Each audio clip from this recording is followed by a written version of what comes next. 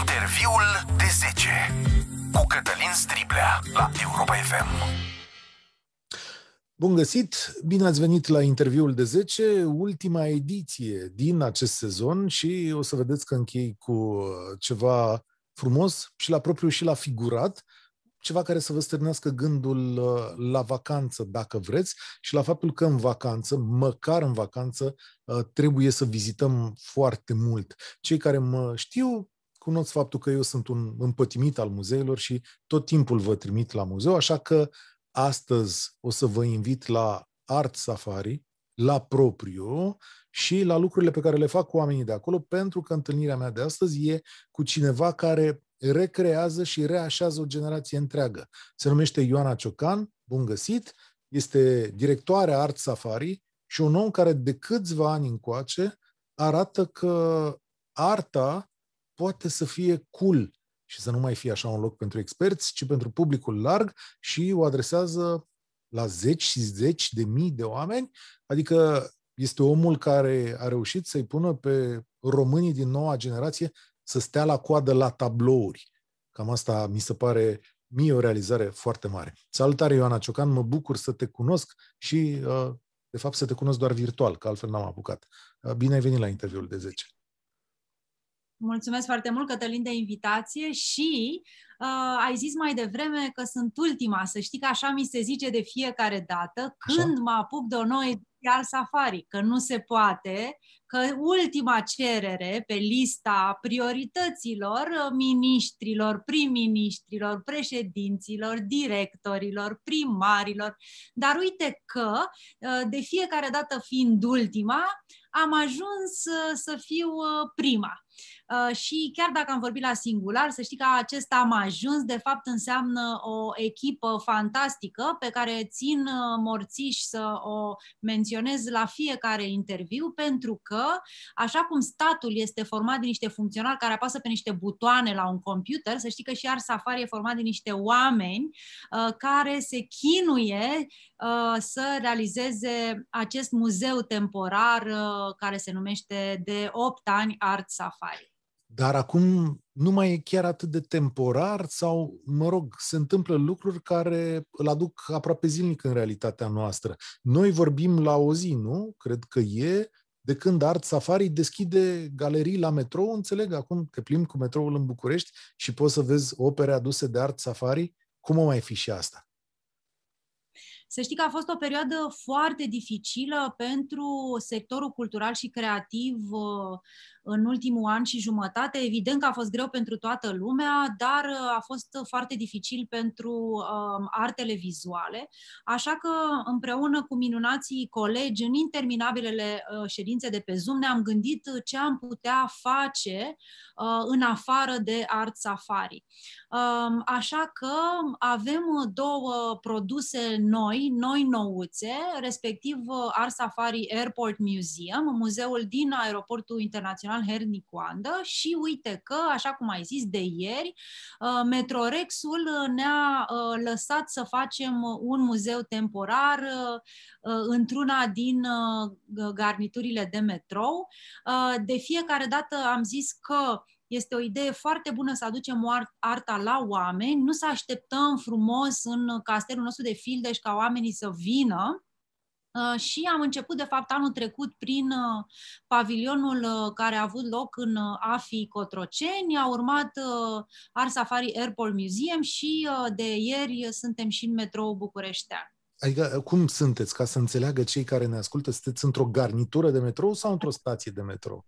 Uite, e o întrebare foarte bună, pentru că, de fapt, cererea pe care am depus-o la uh, aeroportul internațional, acum ține-te bine și țineți-vă bine, acum 8 ani de zile, a fost aprobată într-un final glorios și în aeroportul Otopeni ne-am încăpățânat să expunem opere originale și când zic opere, zic opere de alea sănătoase, un milion și jumătate de euro valoarea totală. Am adus chiar cea mai scumpă lucrare din România, semnată de Nicolae Grigorescu, țărâncuță cu bazma albă în valoare de 340.000 de euro, pentru a fi văzută de către dintre cei care pleacă cu avionul. La stai metrou, la... Stai, stai așa, un, stai, stai, stai ca să înțeleg că vin, revin la metrou, Ioana Ciocan, stai un pic.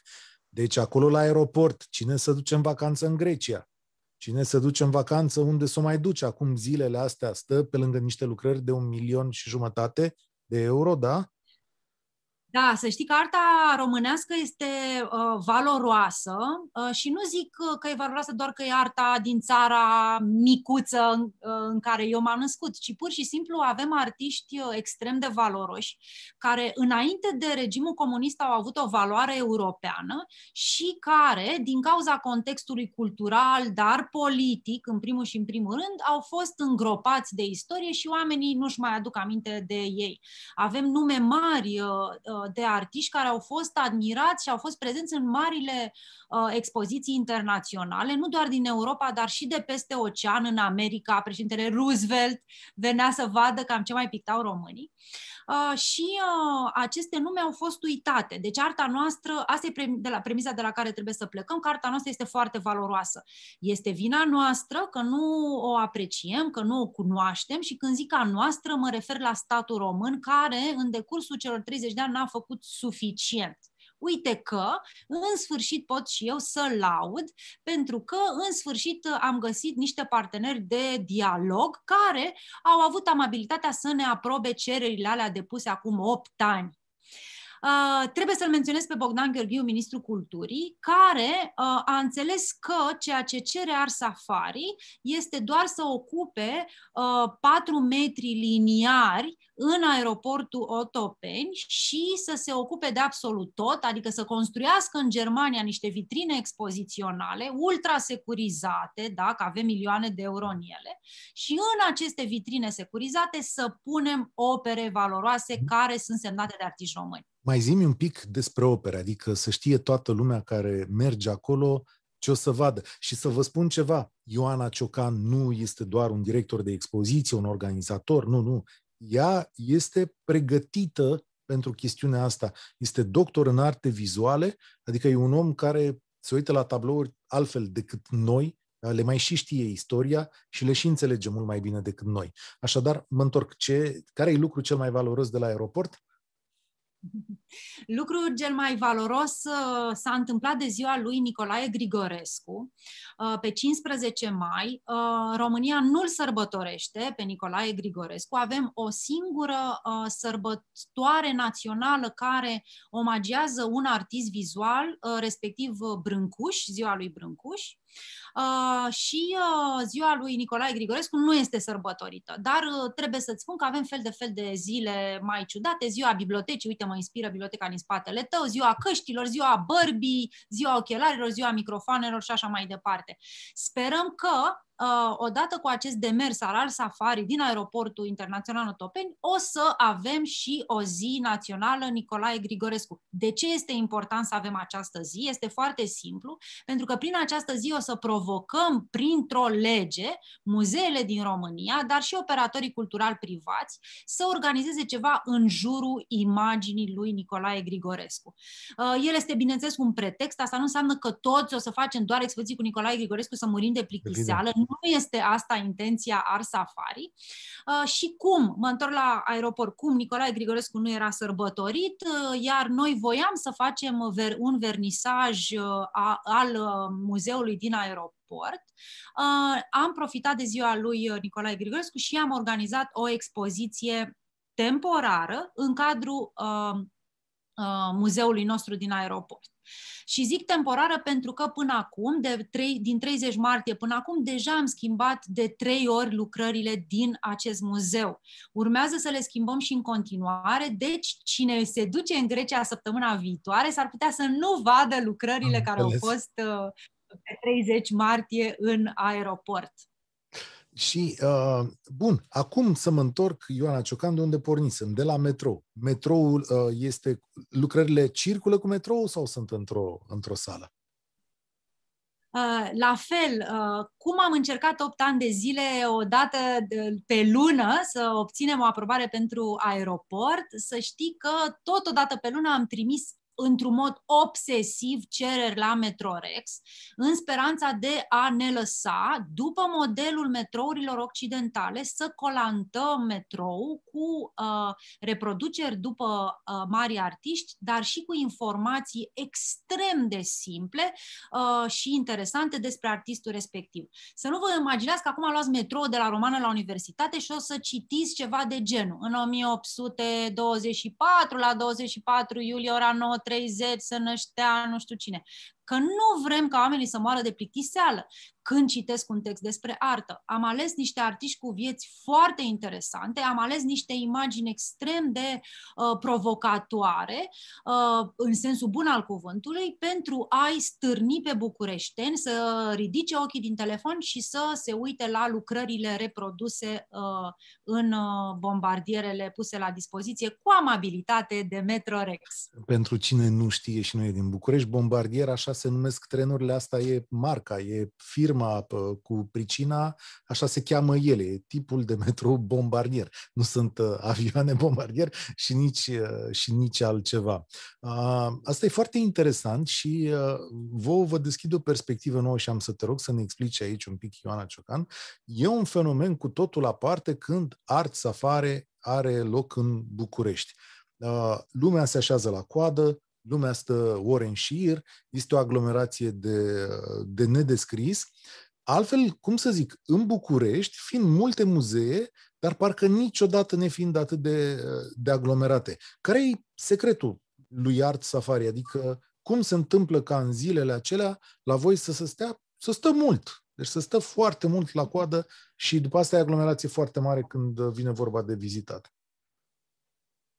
Să știi că secretul este că noi iubim pe toată lumea și noi primim pe toată lumea și ne dorim uh, să vină toată lumea la Art Safari. Eu nu cred că ar trebui să vină într-o expoziție de artă doar uh, locuitorii centrului Bucureștiului, care au două doctorate uh, și care știu exact că Nicolae Grigorescu s-a născut în 1838 și a murit în 1907. Uh, am pornit de la această idee că arta trebuie să fie pentru toată lumea și ne-am dorit să liberalizăm relația bucureștenilor, a românilor cu artele.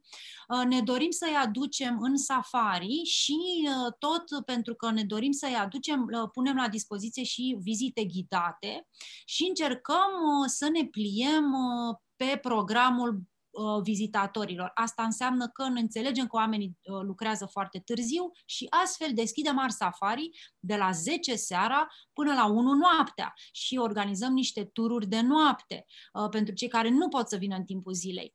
Încercăm să primim cât mai mulți copii și uite, acest program de fapt nu l-am povestit prea des și îmi pare rău că nu știu toți și programul educațional pe care îl are Art Safari. Doar anul trecut um, am uh, primit uh, gratuit și am oferit tururi gratuite pentru copii uh, din organizația Salvați Copiii România um, și mă refer aici la un număr total de 7.000 de copii care au fost primiți de Art Safari în decursul celor 8 ediții. Uh, și este la fel un program pe care uh, Ghizi, Art Safari și colegii mei îl oferă cu titlu gratuit pentru uh, toată lumea, tot, toate școlile publice, private uh, și uh, acest parteneriat pe care îl avem cu Salvați Copiii România ne ajută de fapt să creștem o generație care înțelege că poți să petreci timp în muzeu fără scop, timp liber, poți să te întâlnești cu cineva în muzeu, să începi o întâlnire în muzeu, să sfârșești o întâlnire într-un muzeu uh, și, uh, de fapt, să fie un loc în care se întâlnesc uh, oamenii și în care experimentează mai multe culturi, învață lucruri despre istorie, fără ca informația respectivă să-i fie forțat, introdusă în, în Minte. suflet. Da, mi-ai adus aminte de o imagine pe care am văzut-o într-o după-amiază într-unul din muzeele pariziene, într-o vineri după-amiază, când clasele de, probabil știu eu, de artă sau de desen, foarte multe clase aveau loc chiar în uh, muzee d'Orsay, uh, copii de la copii mici la copii mari, însoțiți de profesori și le explicau operele de artă prezente acolo. Nu am văzut asta decât o singură dată în în România, la Muzeul Național de Artă, trebuie să recunosc, și acolo copiii veniți cu uh, un profesor de limba română. Uh, de ce nu reușim? Adică suntem noi prea departe de cultură, e greu accesul, e greu să ne organizăm. De ce n-ar fi și în România tipuri de astfel de, de ore? Pentru că știu că ești preocupată de chestiunea asta. Nu există un răspuns uh, care să fie valabil peste tot. Uh, toate deblocajele care se pot întâmpla în societatea din România și nu doar în societatea din România, în general, depind de oameni. Așa cum am zis la început, statul este format din niște oameni, nu e așa o clădire goală care stă acolo și dă indicații. Uh, și e nevoie să întâlnești un om. Uite cum l-am întâlnit eu pe Bogdan Gheorghiuș și care Bogdan Gheorghiu a înțeles foarte bine că uh, aeroportul internațional Topeni poate să aibă și el un muzeu așa cum au toate celelalte uh, mari aeroporturi internaționale. Pe urmă a fost întâlnirea cu directorul aeroportului uh, internațional Otopeni, Cosmin Peșteșan, care și el a zis, a, păi da, am văzut când am fost la Amsterdam, am văzut când am fost la Londra, da, hai să facem și noi la București. Uh, deci de fiecare dată e nevoie de un singur om care să înțeleagă.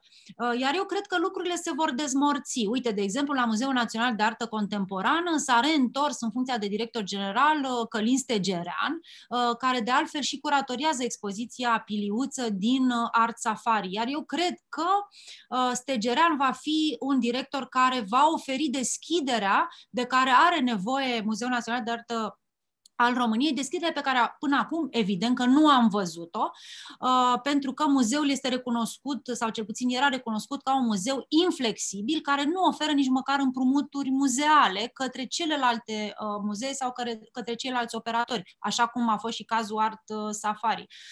De fiecare dată, Muzeul Național de Artă al României ne-a refuzat împrumutul, zicând că nu are sens să dea lucrări către Art Safari și cine vrea să vadă lucrarea să vină la muzeu, ne specificând, bineînțeles, că lucrarea respectivă era de fapt în depozit, nu era expusă.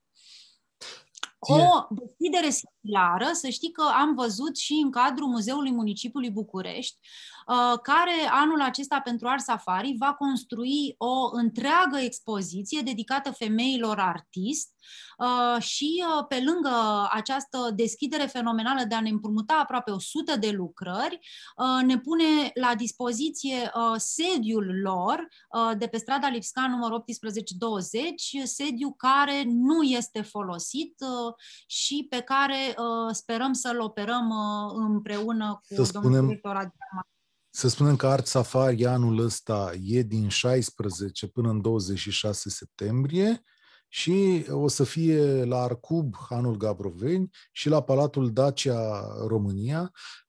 Asta înseamnă că se schimbă un pic. Nu o să mai aveți spațiile acelea pe care le aveați în uh, centrul capitalei și care erau uh, tradiționale la un moment dat. În parcare vis-a-vis de Palatul Regal, toată lumea știa că vine acolo la Art Safari. Aici se schimbă un pic.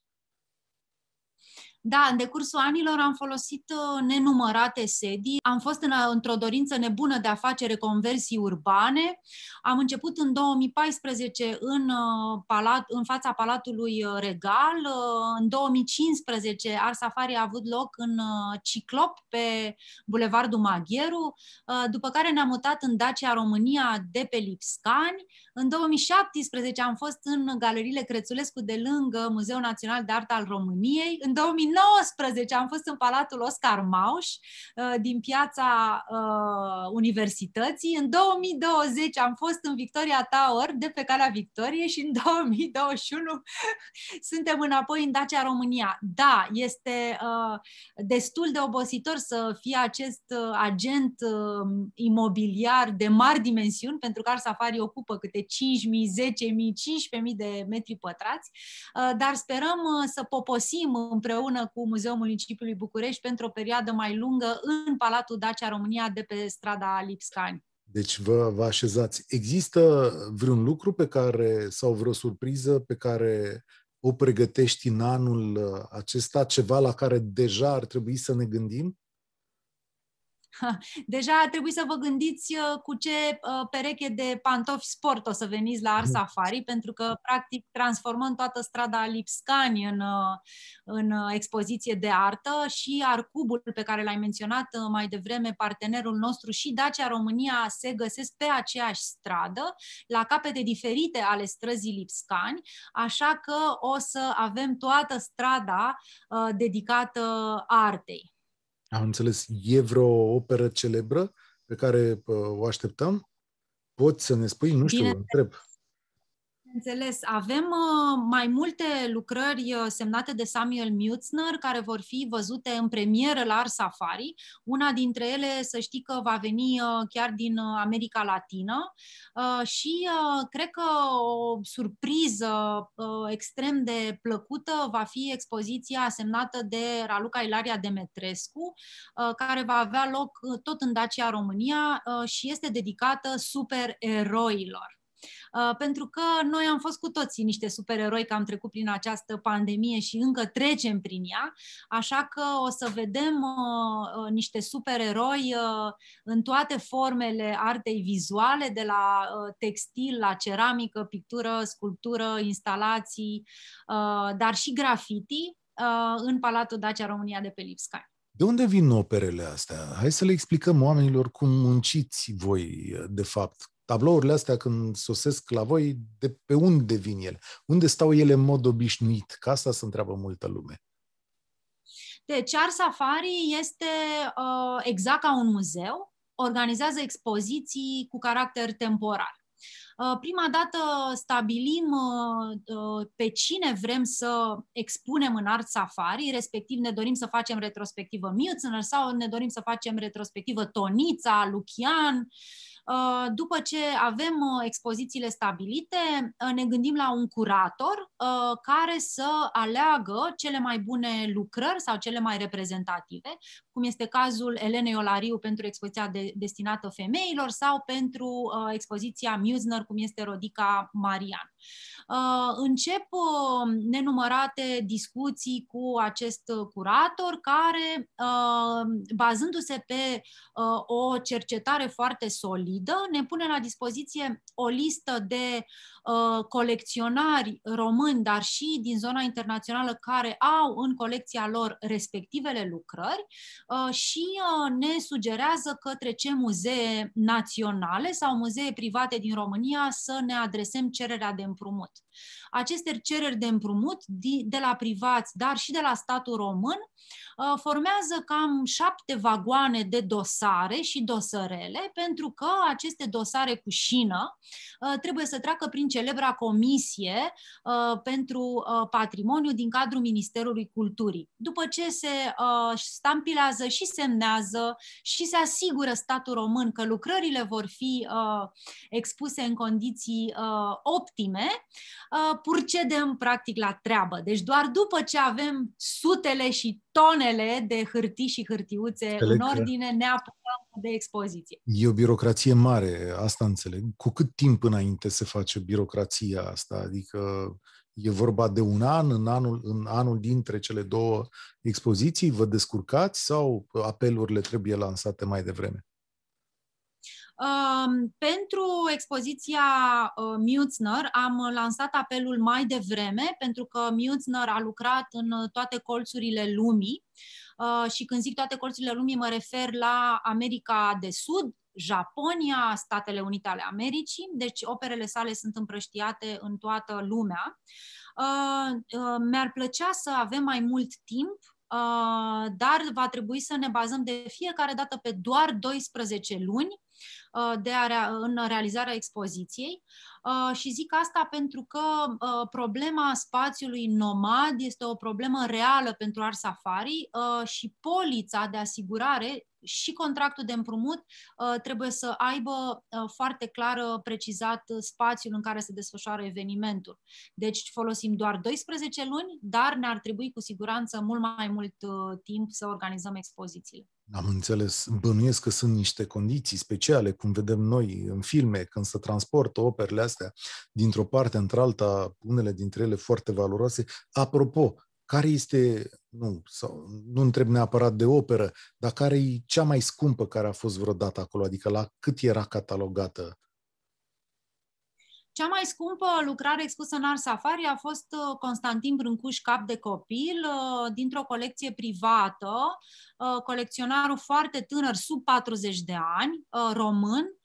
Lucrarea valora un milion, peste 1.100.000 de euro și am avut marea onoare de a o găzdui în Art Safari 2018. Sunt mulți români, adică românii sunt pasionați de chestiunea asta, sunt români bogați care au uh, lucruri de genul ăsta? În cazul uh, colecționarilor, să știi că vedem uh, colecționari din ce în ce mai tineri, uh, colecționari care înțeleg că Uh, a fi uh, colecționar nu înseamnă că trebuie să ai uh, milioane de euro. Există lucrări de 500 de euro, de 100 de euro, de 1000 de euro pe care le poți achiziționa. Piața de artă contemporană este extrem de accesibilă, mai ales în mediul online. Imediat găsești lucrări pe care le poți achiziționa. Înțeleg că în lunile următoare va avea loc în România o licitație de NFT-uri. Uh, deci piața din România este uh, la curent cu trendurile internaționale. Ce numește uh, NFT-uri? Că nu toată lumea știe, trebuie să explicăm ce sunt NFT-urile. NFT-urile sunt the latest sensation în arta digitală. Sunt niște lucrări de artă care sunt uh, Uh, beneficiarele unui cod unic uh, pe care proprietarul îl are în posesie uh, și cu toate că lucrarea respectivă, care are formă digitală, poate fi văzută sau reprodusă sau accesată, unicitatea posesiei codului o face să fie a ta și doar a ta, pentru că acest cod, non-fungible token, nu poate fi reprodus. Interesant. Uh, îmi vine lumea da, modernă peste noi.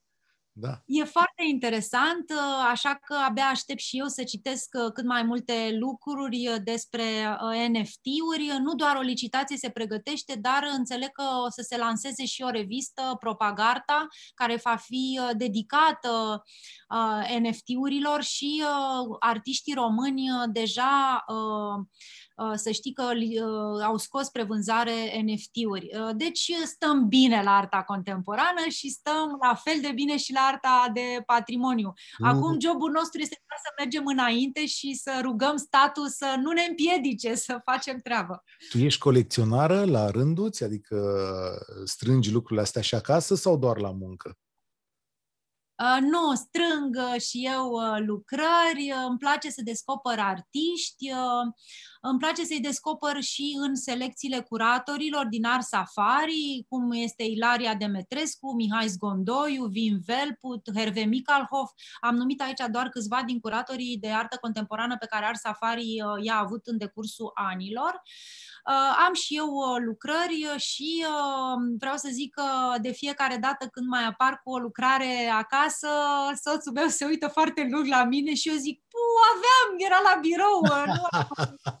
Ce interesant. Știi, când alte doamne spun, da, această pereche de pantofi eu am de mult, sigur, dar eu puteam să am un tablou. Foarte, foarte interesant. Cine... Arta pantofilor și genților, pot să zic de pe acum. Da. Cine este cel mai în vogă, o să spun și câteva întrebări din astea pe care noi profanii trebuie să le știm, cine este cel mai în vogă artist român, artist vizual român în momentul ăsta? Păi n-am un răspuns uh, concret, că am doar răspunsuri emoționale pentru așa, tine. Așa. Având în vedere că Arsafari urmează să uh, decoreze un calcan pe cara Victoriei dedicat supereroilor, uh, iar calcanul este uh, realizat de uh, Obi. Uh, evident că trebuie să zic că Obi este cel mai în vogă. Pe de altă parte, am ales-o pe Irina Dragomir pentru a reprezenta arta contemporană în uh, metrou. Uh, deci o să răspund că Irina Dragomir este cea mai reprezentativă. Pe de altă parte, l-am ales pe Felix Aftene să ne dea o lucrare pentru Art Safari Airport Museum. Deci o să răspund că Felix Aftene este cel mai în vogă. Și este imposibil să Firesc că este imposibil, dar cel mai bine vândut artist contemporan român este, că aici e mai simplu. Obi este cel mai bine vândut artist contemporan pe teritoriul României. Dacă vorbim în afara României, bineînțeles, toată lumea știe răspunsul, este vorba de Adrian Ghenie. Uite, poate ar fi interesant Ioana Ciocan, cu Ioana Ciocan, să vă spun din nou, Ioana Ciocan, șefa, directoarea Art Safari, omul care a pus pe roate, adică a făcut foarte cool arta asta vizuală, stăm de vorbă, poate ar fi important în acest context să ne spui și ce crezi tu despre, nici nu știu cum să zic, controversă, scandal, întâmplarea aceea de acum câteva luni în care societatea românească s-a arătat oripilată de o parte din ea, mod evident, de câteva opere expuse în uh, holul primăriei sectorului 1, opere pe care după asta le-am văzut, le-am și văzut la vânzare la Artmark, nu știu cum s-a, cum s-a terminat licitația respectivă, dar trebuie să fi fost interesant. Cum ai primit tu, ca om de, de artă, lucrurile care s-au spus în perioada aceea? Având în vedere că uh, Călin Stegerean este curatorul uh, Piliuță din Art Safari, uh, dar și curatorul acelei expoziții de la sectorul 1, să știi că am fost extrem de surprinsă de cât de calm a putut să rămână Călin Stegerean când a venit tot valul tsunami peste el. Um, sincer, să știi că eu mă bucur foarte tare că există aceste discuții evident că ele sunt uh, absurde. Uh, scandalul poneiului Roz a fost absurd, uh, scandalul Alexandru Rădvan a fost absurd. Toată, înțelege toată lumea, bineînțeles, că sunt doar niște manipulări politice prin care se plătesc diverse polițe. Noi înțelegem asta, râdem, suntem amuzați și bineînțeles că nu avem cum să-i luăm în serios pe cei care postează pe Facebook că urmează să Uh, protesteze în fața primăriei sectorului 1 pentru că un rinocer uh, are sâni. Uh, evident că nu avem cum să-i luăm în goale, serios. Da, drăcoai ce goale, ăla era termenul. Uh, m-am exact, uitat... dar ce facem este să creștem cu foarte mare atenție o nouă generație de uh, copii o nouă generație de preadolescenți, de adolescenți, de studenți uh, uh, pe care să încercăm să-i apropiem de artă, uite așa cum facem noi la Art Safari prin tururile ghidate, în așa fel încât uh, să nu își râdă în sân când văd un sân. Da, asta e foarte, foarte important. Ție îți place cum să fac orele de artă la noi? Adică la școală? Și nu, la, și nu acolo unde tu sigur ești absolventă de tonița, e cu totul altceva. Mă refer în restul, în restul mediului. Sau cum ți-ar plăcea să reformulez, ca să nu, zic, să nu zică oamenii că, domnule, am venit să adresăm o critică. Cum ți-ar plăcea ca noile generații să învețe despre frumos?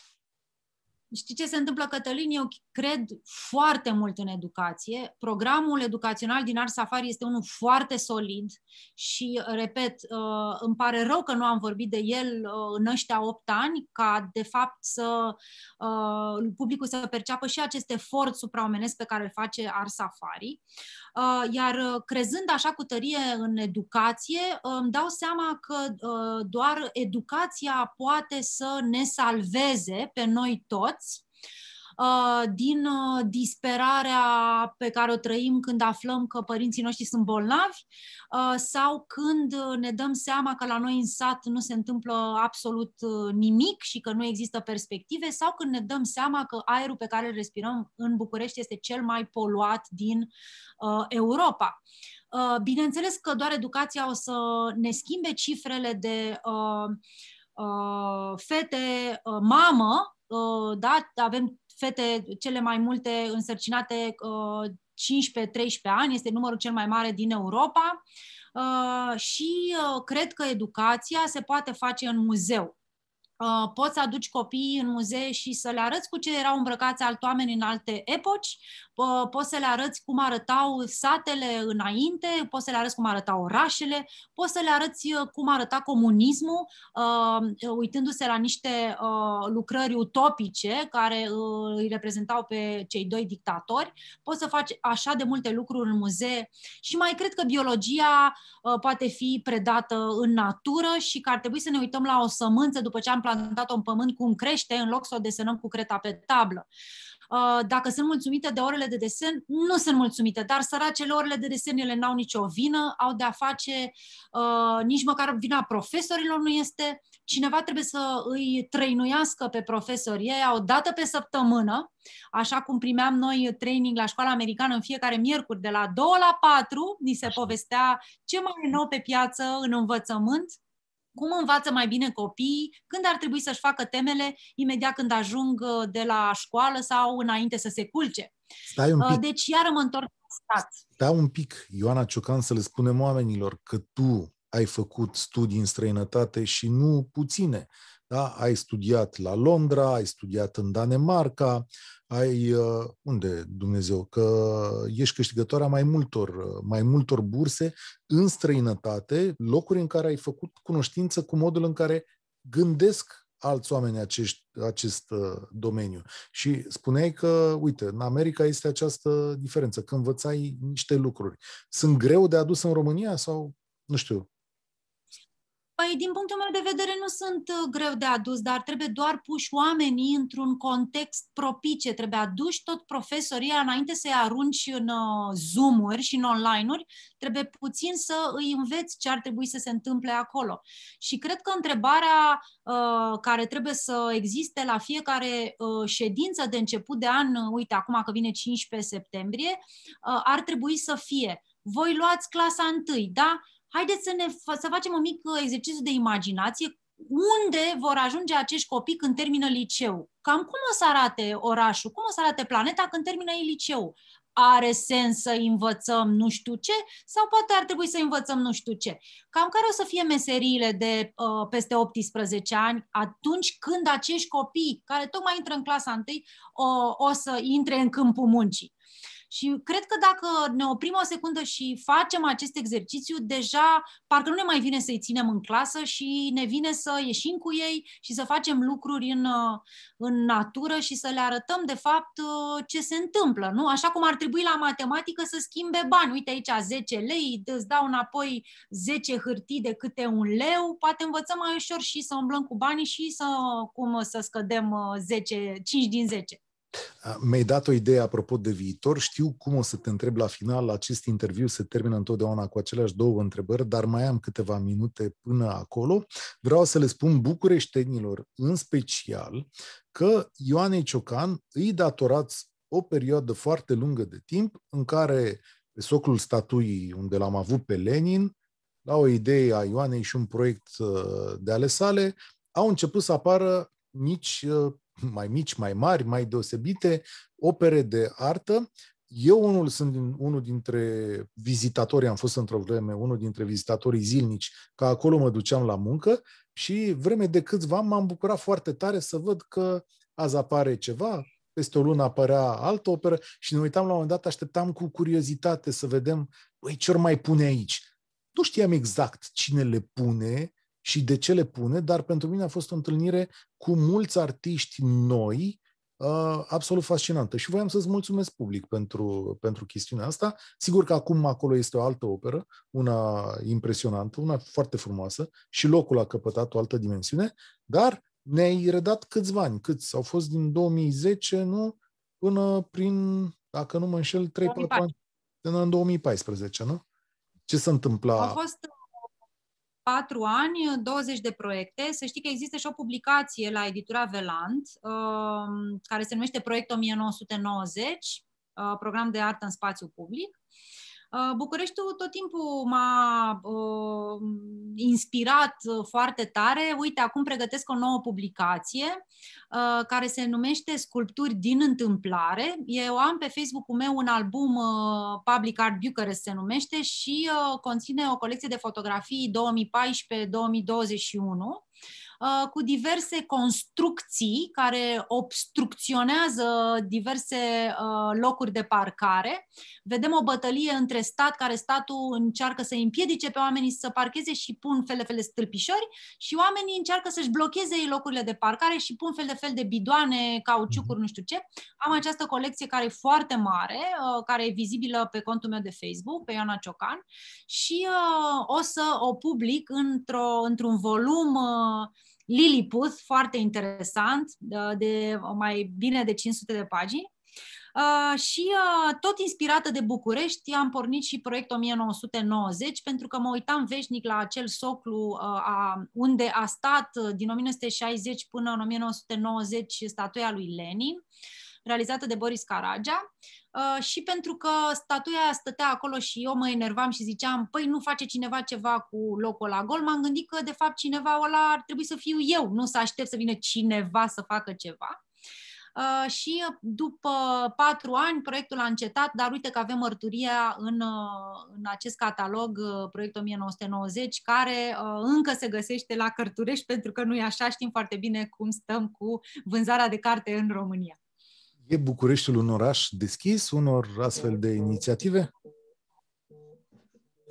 Dacă e suficient încăpățânat, uh, cred că Bucureștiul este deschis. Dacă ne referim la instituția uh, primarului și la consilierii uh, din Consiliul General, Uh, dacă e suficient de încăpățânat, cred că devine deschis, uh, așa cum am fost suficient de încăpățânată împreună cu colegii de la Art Safari să nu renunțăm la celebra noastră cerere din uh, aeroportul Otopeni, pe care în sfârșit Cosmin Peșteșan, directorul muzeului, directorul aeroportului, ne-a semnat-o.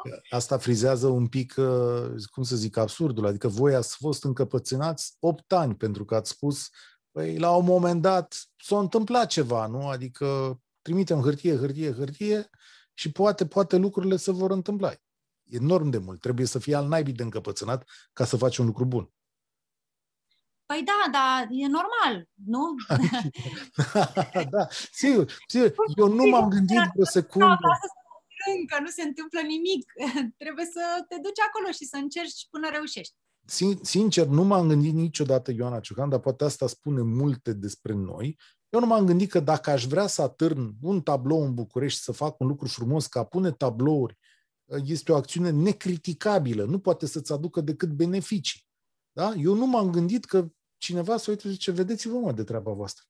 M-am gândit că ăsta e cel mai simplu lucru din lume. Orice primar, orice autoritate, orice notabilitate va, vă va primi cu brațele deschise și va spune, dar puneți frate tablouri peste toate blocurile, ce problemă e? Dar chiar nu. Ce problemă e? Sigur, la nivel teoretic este ușor, dar la nivel practic, uite, ca noi doi să vorbim acum, avem nevoie de multe lucruri. Pe lângă baterie la laptopuri, chiar da. să, fie, să avem laptopurile astea, să avem conexiune bună la internet, să fim pe aceeași fus orar și așa mai departe. Plus avem nevoie de Iuliana să ne pună împreună. Uh, așa e și da. cu tablourile pe blocuri. Uh, nu este suficient ca primarul general, uh, fie Nicușor Dan sau Sorin Oprescu, să zică da, e nevoie de o structură foarte mare de avize și aprobări care să uh, facă lucrurile să se întâmple și de multe ori lucrurile se pot fractura în acest șir lung de semnături și dosare cu șină. Serios că azi am primit o lecție nouă despre noi după ce mi-ai povestit lucrurile astea și mai ales uh, despre încăpățânarea unor oameni care pot să facă ceva mai bine. Era vorba la un moment dat, sigur, înainte de această pandemie, culesesem eu această informație, că așteptam lucrări de ale Fridei Calo, se mai întâmplă chestiunea asta, că știi cum este, ar fi un anunț foarte mare pentru foarte multă lume. Așa este. Contractul Ars Safari cu organizatorii uh, Uh, patrimoniului uh, Frida Kahlo din Mexic este semnat uh, și dacă totul decurge bine, în parteneriatul nostru cu Muzeul Municipiului București, vom aduce Frida Kahlo la București. Aha, asta se va întâmpla anul ăsta sau în viitor? Uh, nu, uh, expoziția are o întârziere de un an și jumătate, întârziere cauzată de uh, perioada de pauză pandemică, pentru că Bucureștiul este prins între două orașe europene în a prezenta această expoziție itinerată Frida Kahlo. Aha. Deci dacă Franța stă pe loc uh, și programul francezilor uh, se duce un an jumate mai încolo, atunci ne ducem și noi un an jumate mai încolo. Foarte interesant. Ăsta va fi unul dintre evenimentele mari pe care le așteptăm în, uh, în București și probabil că va fi bătaie ca să mergi la muzeu să vezi Frida Kahlo, ea având și o imagine de asta spectaculoasă. Uh, nu aș vrea să uh, ne despărțim înainte de a... Uite, fă-ne un favor. Știu că ție s-ar putea să nu-ți placă chestiunea asta, Ioana Ciocan, dar poate reușești să-mi spui. Domnule, dacă ar fi să vină, uite, oamenii care ne ascultă acum din toată țara, uh, și să vadă să-și aleagă niște muzee. Care ar fi muzeele tale preferate sau locurile preferate pe care le-ar vedea Ioana Ciocan în România? Așa, un top personal, dar foarte personal, ca să nu se supere nimeni. Dacă aș avea timp liber, m-aș duce să văd, să revăd că... Păi da. O să încep din București și aș trimite în Palatul uh, Filipescu Cesianu, de pe calea Victoriei, în sediu central al Muzeului Municipiului București. Uh, după care i-aș trimite la Muzeul de Artă din uh, Constanța, condus uh, până în decembrie anul trecut de regretata Doina Păuleanu. Muzeul de Artă din Constanța are o colecție fenomenală. După care i-aș trimite la Bruckenthal să vadă muzeul de acolo și, bineînțeles, dacă tot am ajuns la Sibiu, trebuie să mai mergem un pic și să ajungem și la Muzeul de Artă din Iași, condus de doamna Stratulat deci au ce vedea în uh, România. Astea sunt preferatele mele, dar să știi că sunt uh, foarte multe muzee în orașe mai puțin cunoscute sau mai puțin vizitate, care merită. Uite, o să dau exemplu Muzeului de Artă din Topalu. Sunt sigură că nu ați fost la Topalu până mm. acum, dar mm. cum se face vară și veți fi cu toții în drum spre mare, chiar dacă sunteți la satul mare sau la Constanța, Așa. Uh, trebuie să faceți un mic ocol să ajungeți la Muzeul de Artă din Topalu, care este o bijuterie a artei românești prin colecția impresionantă pe care o are și menționez aici doar pe uh, Lucian, uh, Grigorescu, Petrașcu, uh, sunt există, uh, opere... Există așa ceva? Importante. Există da, așa da, ceva da. într-un muzeu? Vorbim de peste lucrări. Fantastic. Uite, mi-ai deschis mintea. Cel de la Iași l-am văzut recent, muzeul de la Iași l-am văzut recent. Cel de la Constanța, deși, da, la Constanța mă duc chiar weekendul ăsta, deci, Ioana Ciocan, știu ce am de făcut, că nu o să fie musai vreme de...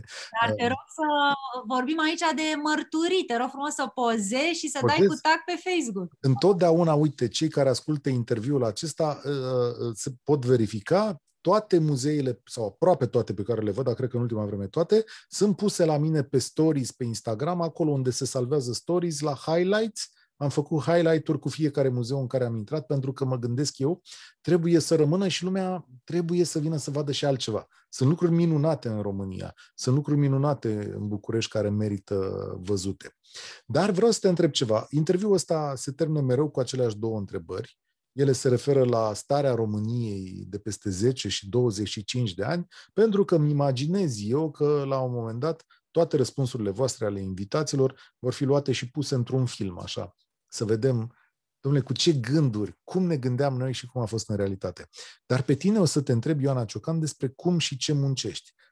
E clar că tu reprezinți progresul și lumea nouă în artele vizuale din România, ție ți se datorează o mare, mare schimbare aici, așa că aș vrea să știu de la tine, domnule, cum o să arate România asta a artei vizuale și muzeale de acum peste 10 ani? vai Cătălin, o să te dezamăgesc, o să am niște uh, mm. uh, vise foarte mici. De ce? Îmi doresc, uh, în primul rând, să dispară Uh, deci n-am zis cum o să fie, am zis ce îmi doresc să fie. Ia, hai să, să dispară uh, birocrația uh, intermuzeală Uh, respectiv muzeele din România să nu mai aibă nevoie de tone de hârtii ca să schimbe uh, uh, lucrări între ele, pentru că în acest moment dacă vrei să iei o lucrare de la un muzeu, uite, de unde sunt eu acum din Galați și să o duci la București, ai nevoie să treci pe la capitală, da? deci pe la centru, Uh, cu fel de fel de dosare și dosărele, deci mi-aș dori ca muzeele uh, să aibă încrederea Ministerului Culturii să poată schimba bunuri culturale mobile fără opreliști între ele. Și mi-aș dori ca această barieră uh, birocratică să dispară și în comunitatea europeană, respectiv săraca comunitatea europeană ne obligă uh, pe noi, România, să circulăm cu bunurile culturale mobile liberi, ca pasărea cerului, că doar da am intrat în comunitatea europeană, dar România în continuare cere uh, puhoaie de hârtii pentru a uh, te plimba cu lucrările. Și când zic a te plimba, mă refer la uh, România, care iese cu bunurile sale culturale mobile din țară pentru a reprezenta România la o altă expoziție. Dar... Este atât de dificil procesul încât muzeele și colecționarii refuză câteodată să participe cu lucrări pentru că le este aproape imposibil să iasă cu ele din România. Nu m-aș fi gândit niciodată la această chestiune în care Până și aici, clasica birocrație românească lovește, dar uh, să nu uh, văduvim pe oameni de această informație. Deci ești la Galați când facem noi acest interviu, pentru că și acolo e un muzeu bun sau ce faci la Galați? Uh, muzeul din Galați uh, m-a invitat în calitate de vicepreședinte al Uniunii Artiștilor Plastici din România să fac parte dintr-un juriu uh, care urmează să decidă ce lucrări ale artiștilor gălățeni de artă contemporană vor intra în patrimoniul muzeului. Ah. Este a doua oară când muzeul din Galați obține finanțare de la Consiliul Județean și de la primărie ca să facă această achiziție de artă. Uh, este extrem de important ca muzeele din România să poată achiziționa de pe piața liberă uh, lucrări de artă pentru că ele uh, cresc patrimoniul țării achizițiile de artă s-au oprit undeva după ce uh, Nicolae Ceaușescu nu a mai băgat bani în propagandă, deci de 30 de ani ele sunt oprite, uh, dar avem uh, această excepție aici la Galați și, bineînțeles, trebuie să menționez uh, că uh, a existat o linie de finanțare uh, semnată de Ministrul Culturii Bogdan Gheorghiu, prin care Muzeul Național de Artă Contemporană a făcut sesiune de achiziții. Cea mai recentă fusese acum 12 ani Uh, și putem să numărăm 12 miniștri. Da, în 12 ani la Ministerul Culturii cam așa se întâmplă. Uh, deci uh, a trebuit să vină Bogdan Gheorghiu ca să deschidă o nouă linie de finanțare pentru a cumpăra artă contemporană pentru statul român. Deci pentru noi, nu se cumpără pentru altcineva. Eu îți mulțumesc tare mult pentru prezență. Mi-a făcut mare plăcere să ne cunoaștem și uh, pe oameni acum în această perioadă invit în muzeele uh, Bucureștiului și ale țării, așa cum le-ai nominalizat și tu. Iar pentru cei care pleacă în vacanță de la Otopeni, dacă vedeți acolo câteva tablouri, nu uitați cine le-a adus și, desigur, cei care circulă cu metroul în București. Cred, Ioana Ciocan, că ne auzim la toamnă, nu? Cu o săptămână, Sigur, două înainte de... La safari pe 16 septembrie. Dar o să ne auzim să informăm pe oameni, să-i spunem publicului, uitați, vine, se pregătește, aici o să fie evenimentul și, mă rog, să se descurce lumea de așa natură, să nu stea câte o oră, două la coadă. Ah, bănuiesc că va fi și mai complicat, nu? Pentru că acum vor fi condiții de pandemie, oameni și mai puțini, sau va fi majoritatea afară? Păi, uh, având în vedere că noi am făcut Art Safari și în plină pandemie, am fost singurul eveniment care s-a întâmplat uh, în, uh, de mari dimensiuni, care s-a întâmplat în România. Um, am toată încrederea că lucrurile o să decurgă perfect pentru 16-26 septembrie. O să primim în Art Safari un număr limitat de oameni Uh, și o să fie exact uh, după modelele uh, Louvre și Tate. Intră un vizitator, iese un vizitator, cam asta o să fie ritmul. Deci, cu siguranță că oamenii trebuie să se asigure că profită la maxim și de zilele de luni, marți, miercuri, joi, să vină la safari, nu să vină toți vineri, sâmbătă, duminică. Îți mulțumesc tare mult încă o dată, spor la treabă. Interviul de 10 cu Cătălin Striblea la Europa FM.